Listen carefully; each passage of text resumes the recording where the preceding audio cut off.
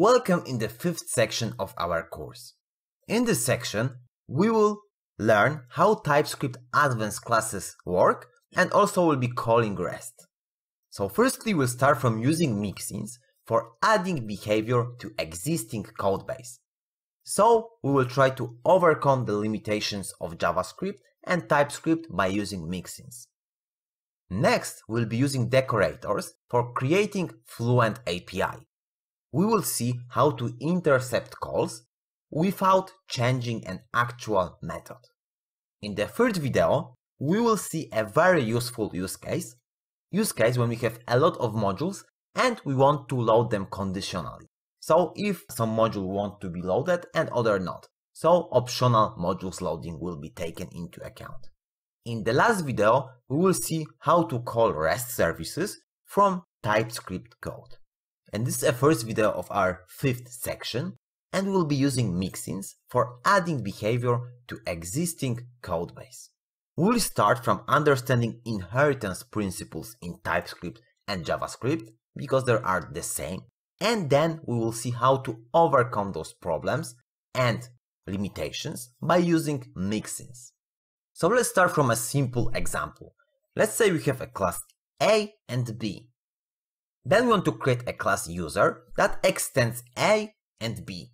We are not able to do it in JavaScript. TypeScript will tell us that classes can only extend a single class, so we are limited to inheritance from only one class. To overcome that problem, we can create a mixin. Mixin is a function that takes constructor, creates a class that extends that constructor with new functionality and returns new class. So firstly we will create a type for mixin. Type our mix will be called constructor and it will take a type that is generic type and it takes a map of things. So this is an basically object. It will return a new constructor of arguments of any type that returns type t. This is somewhat complicated, but you will see how that work on the specific example. Let's start from the use case. So let's say we have a simple class user that clicked our ad and that user has only name and that name is John Wick. Then we want to assign pay-per-click advertisement to that user that clicked and let's see how to make it. So pay-per-click advertisement is a function that takes some parameterized t-base that extends constructor so our class should have constructor on it. And you are taking an argument that is of a t-base. In our first example, it will be user that clicked. Then we are just extending our base, our user that clicked, with a cost of 150. So this is our pay-per-click advertisement. And it will give us the extension of our base class. So right now, that pay-per-click will have name and cost. So this is an example where we are creating pay-per-click and we can see that it has name field and cost. Name is taken from the user that clicked and cost from the pay-per-click ad. But we can go even one step further. We can create ad activator that is activating advertisement on the user that clicked and then it is wrapped into our cost of advertisement. So let's see how add activator does look like.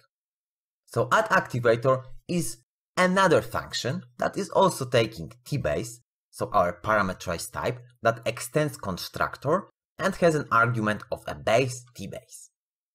Next it creates new class that extends our base. In this example it could be our user or even our pay-per-click advertisement. And it has only one field is activated. And we can set that this field should be activated by calling activate method and deactivate it. So we can see that we can also add methods via mixin. So here we are creating add activator on the user that clicked. So right now that type should have activate methods. And at the end we are giving cost of that advertisement to it. So here is a use case. We are creating new activated pay-per-click ad then we can see that this activated has cost, has flag is activated. We can call activate on it. And after that, our is activated should return true. So to test this, we can take a generated JavaScript. We can see that this JavaScript is quite complex. It's, it's not so simple because mixins are powerful, but also has a lot of overhead. So let's copy that JavaScript code and pass it here. So we can see that it returns John Wick 150, then 150 again, false and true. So after we will activate it between false and true, we can see that our flag changed. So our code works as expected and we were able to add the behavior to the user that clicked and everything is dynamic. We don't need to extend that class so we are not stick to single class extension.